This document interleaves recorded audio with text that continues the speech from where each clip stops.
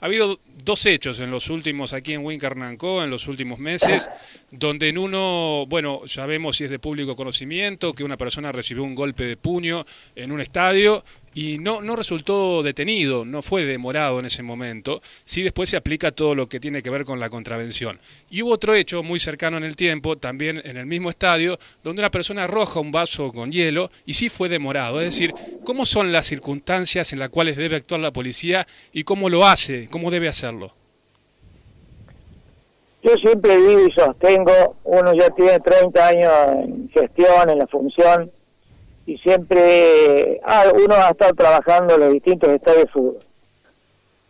Por supuesto, cuando se trata de, de, un mínimo o una poca cantidad de gente, es más fácil instrumentar desde lo que hace la parte preventiva, sugiriéndole, eh, más si lo conoce, para que no, no, no cree situaciones complicadas que causen problemas. Pero después están las otras, que sí, evidentemente está el violento, que causa un desorden o evidentemente produce una lesión, y bueno, se realizan o se sustancian las actuaciones como corresponden, si son si son lesiones, tiene la posibilidad del damnificado de, de accionar penalmente por estas lesiones, si se trata de una contravención, de, de, de un desorden o algo por el estilo, se maneja el código de convivencia, donde también se sustancia en la contravención. En algunos casos puede ser trasladado, pero evidentemente dejar, dejarse citado para después ser notificado en cuanto a su sanción. Pero bueno, todo lleva un proceso, evidentemente. Pero bueno, nosotros por ahí queremos trabajar con reacción más rápida. Eh, porque, eh, es como le digo, la sustanciación de unas actuaciones lleva un proceso.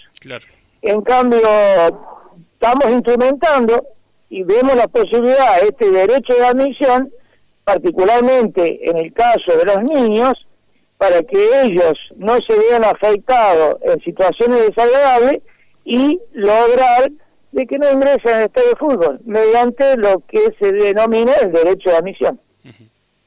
Si usted hubiera estado a cargo del operativo en el caso este de, que le aplican el golpe de puño, ¿lo hubiera demorado hasta la persona que, fue el agresor? Y según, según el momento, hay que estar en la situación de ese caso puntual. Evidentemente, en un estadio de fútbol hay una tribuna, por ahí eh, si uno quiere causar, eh, o mejor dicho, quiere trasladar a alguien que se encuentra en medio de una tribuna, y puede tener más problemas, porque sacarlo en medio de la tribuna complicaría el, complicaría el panorama. Entonces, si uno va tomando las, prevenciones, las precauciones del caso, puede suceder que esté solo, evidentemente se hace más fácil para trasladarlo. Pero si está con gente, donde hay más, participa más de 15 o 20 o 30 o más personas, es muy difícil, el mal que el, bien que se quiere hacer puede ser un mal peor, porque evidentemente eh, se, se produciría un desorden más, Generalizado. más grave, Exactamente. Es, decir, hay que tener en cuenta las circunstancias también, ¿no? Exactamente, Ignacio, exactamente. Ha quedado en claro su palabra y bueno, a partir de ahora entonces el derecho de admisión lo van a empezar a aplicar los, los clubes en conjunto con la, con la policía y ojalá que esto dé resultado y que no tengamos que vivir más un episodio de estos en una cancha de fútbol del Departamento General Roca.